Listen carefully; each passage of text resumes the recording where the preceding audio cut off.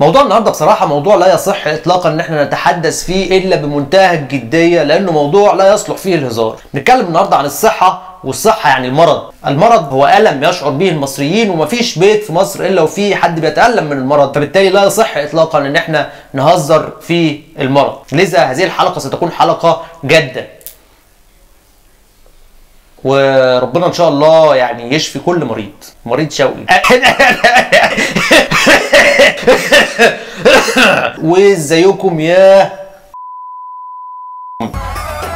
طبعا الحالة الصحية المتردية التي بيعاني منها أغلبية المصريين هي أحد الأشياء اللي بيعتمد عليها العالم قذر الزبالة في ترويج صورة سيئة عن مصر وإظهار مصر وكأنها بلد إيه بتعاني أو بلد فاشلة ولكن هيهات طبعا لأن إحنا عارفين إنه النجاح نجاح والفشل فشل والناجح ناجح والفاشل فاشل. بس طبعا إحنا مش هندفن راسنا في الرمل لأن إحنا اتعلمنا من قيادتنا العظيمة المفخرة بالفشل. ده هو ده الشواذ اللي إحنا عايزين نعمله. لن نقول إن إحنا ما عندناش مشاكل لا إحنا عندنا مشاكل وعادي. حاجة في منتهى الذكاء بت- بتحير بقى إيه بتحير اللي بيكلمك. يعني هو جاي لك عايز يجيب فيك جون فأنت تجيب جون في نفسك. عايزني يعني تقول إن أنا آه إيه أهو.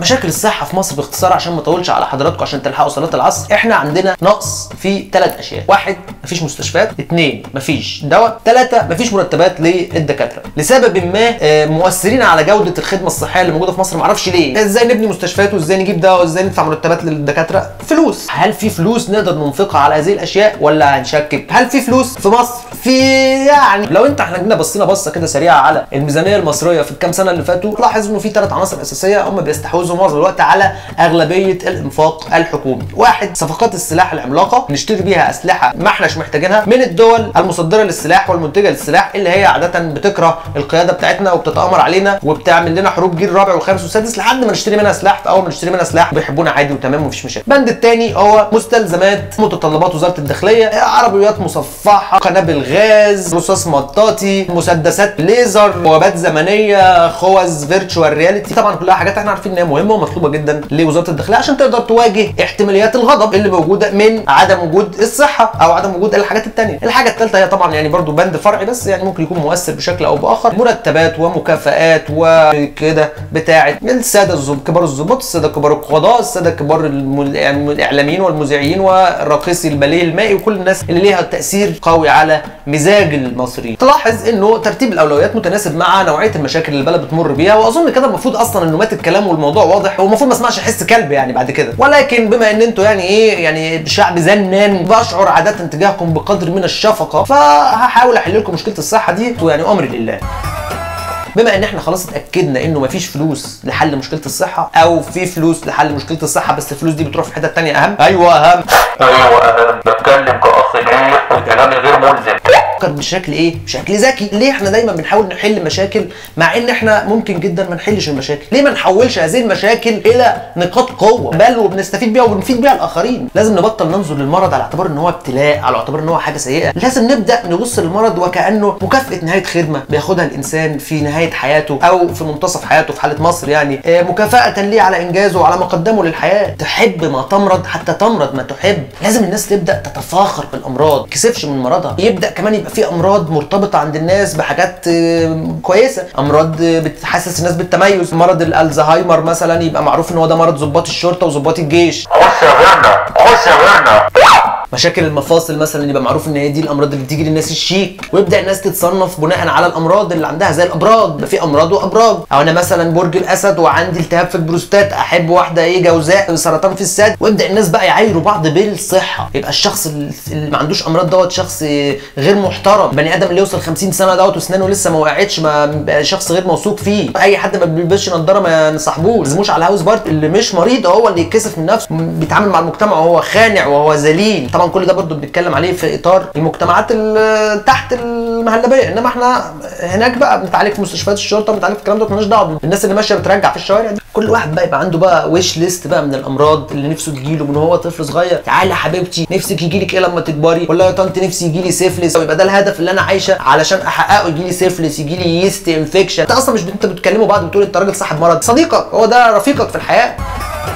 نبدا بقى نخش على مرحلة الجد. مرحلة الجد دي بقى هي المرحلة اللي هنحول فيها هذا المرض إلى مورد من موارد العملة الصعبة اللي هينقل البلد دي نقلة عظيمة. وهنشوف بقى مصر تانية خالص. دلوقتي بيقول لك في حاجة في العالم اسمها السياحة العلاجية. السياحة العلاجية دي إن أنت عندك مثلا واحد سائح إنجليزي فرنساوي أو حتى خليجي عنده آه، وفرة من المال وفي نفس الوقت عنده مرض معين يقوم واخد بعضه واخد فلوسه ورايح على بلد مثلا زي ألمانيا لكي يحصل على العلاج في ألمانيا ويصرف فلوسه ديت في ألمانيا. وألمانيا تستفيد من فلوسه لا طب هي ألمانيا محتاجة فلوس؟ ده ألمانيا اللهم صل على النبي على قلبهم الفلوس قد كده. بيقول لك الناس ما بقت من كتر الفلوس مش عارفة تعمل إيه بقوا بياكلوا ورق شجر. طب إحنا بقى عايزين بقى إحنا الفلوس دي عايزين عايزينها ناخدها برضه نشتري بيها حملات طائرات وخوذ. إحنا بقى هنعمل نوع جديد من السياحة اسمه معلش هو اسمه بس طويل شوية بس خلينا مع, مع بعض. قال إيه؟ آه السياحة العلاجية النفسية التعاطفية الذنبية. في البداية هنبدأ نروج لمشروعنا المرضي القومي باعتباره معجزة من معجزات الإنسانية. عندك 100 مليون مواطن كلهم مرضى في حالة نادره من الوحده الوطنية واللحمة الوطنية والاشتراك في الخرا. شيء لم يتكرر منذ قبل من قبل في التاريخ. ده نعمل عنه حملات الفيديوهات على اليوتيوب زي ما بنعمل بوسترات و campaign. ونجيب شركات وندفع لها فلوس ونقول لها اعملي لي يا شركة campaign والشركة تعمل لك campaign. وتبدأ تروج لمصر باعتبارها hashtag sick place. دلوقتي السائح الأجنبي اللي عنده مرض مثلا سرطان ولا أي مرض من الامراض الوسخه ديت بيخش هذا الإنسان بقى في إيه؟ بقى مراحل اكتئابية وما يعرفش وده بيأثر طبعا على معنويات المريض. فإحنا نعمل إيه بقى؟ إحنا ناخد بقى هذا السائح الأجنبي يوصل مصر من قلب مطار القاهرة تقوم واخده في عربية ميكروباص قذر. لابد لازم يكون ميكروباص قذر. وهوب على مستشفى أم المصريين في الجيزة. لففه لفتين وريه القطط والأشلاء المعجزات اللي بتحصل في أوضة العمليات. توريه التأوهات وبعدين تقوم خارج الوحدة الصحية في بهتيم توريه اللي بيحصل هناك برضو الشقلباظات اللي بتحصل. تطلع من بهتيم على القصر العين على الممرضات وهم بيلعبوا مصارعة روماني مع المرضى. تبدأ بقى تجيب افواج 30 سائح ياباني. وتقوم واخدهم على مدرسه مثلا في الأقاليم وتفرجوا على عمليات التطعيم اللي بيتعرض إليها هذه هذه الأطفال. يجي بقى هو يبص يشوف كده الإيه؟ الحقنة وهي بتتحط على البابور وتخش في الاليه الطلبة. إليا إليا إليا إليا. تك تك تك تك تك. وهكذا وهكذا وهكذا. تبدأ تعمم هذه التجربة. تبدأ الموضوع ينتشر يبدأ الناس تيجي. لأنه مثلا هو كان قاعد في بلده بيشتكي من مشكلة صحية ما بيروح المستشفى والدكتور بيطبطب عليه وبتاع. بعدين بيبص يشوف إيه اللي بيحصل في مكان زي مصر. فيبدا يشعر بالذنب. بعد هذا الذنب يشعر بقى بالامتنان لعدم وجوده في هذا المكان. تحسن حالته النفسية وحالته المزاجية جدا ويبدأ يستفيد من هذه الخدمة العلاجية. دي يدفع فيها فلوس. الناس هناك بيروحوا للدكتور النفساني. البنت تخش تقعد ترغي له شوية تقول له أبويا وال daddy issues وما ال daddy issues 100 دولار في بقين وشوية رغي ولا أي كلام. المشروع ده لو نفذناه هيحقق عدة مكاسب في نفس ال...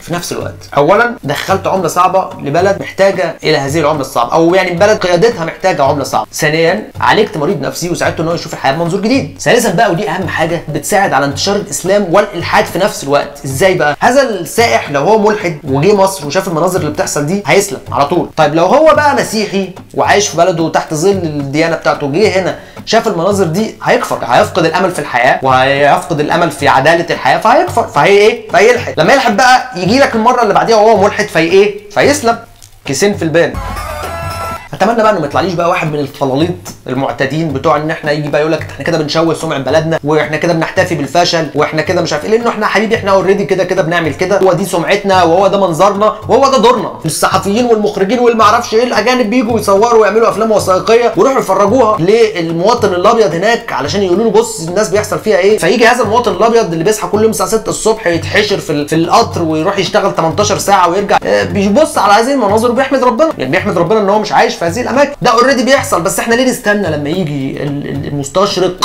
الاجنبي ويجي عندك ويبص عليك ويطلع منك هذا ال potential ليه ما نستغلش الحاجات اللي عندنا ديت؟ لأول مرة نفكر لنفسنا وننفذ لنفسنا. إحنا اللي نقول آه تعالى شوف تعالى أوريك مطرح العملية. تعالى أوريك. أمي العيان نجتهد ونحاول نطلع القرش من أي حاجة. ده أهم شيء إن إحنا عمرنا ابدا ما نسمح لكرامتنا إن هي تقف قصاد لقمة العيش اللي جاية لنا. ولو شكينا في أي لحظة إن اللي بنعمله دوت عيب أو حرام نسأل نفسنا سؤال. اللي فوقي بيعمل كده؟ طالما اللي فوقي بيعمل كده يبقى أنا أعمل كده. بص حواليك كده وشوف اللي فوقك بيتصرف إزاي واعمل زيه بالظبط واللي فوقك دوت من أول هنا لحد فوق خالص. فبما إن اللي فوق خالص بيتصرف كده فإحنا كمان هنتصرف كده. آه، بكده نكون وصلنا لنهاية هذه الحلقة المظلمة من برنامجكم المفضل والعظيم آه، أخ كبير وعلى الله. على الله. حد فيكم يعمل لايك ولا يعمل شير؟ ما يقعدش عايز حاجة منكم. ما حدش يكلمني تاني. وما يقوليش ولا ولا ولا, ولا أي حاجة. الا اللقاء. سلام عليكم.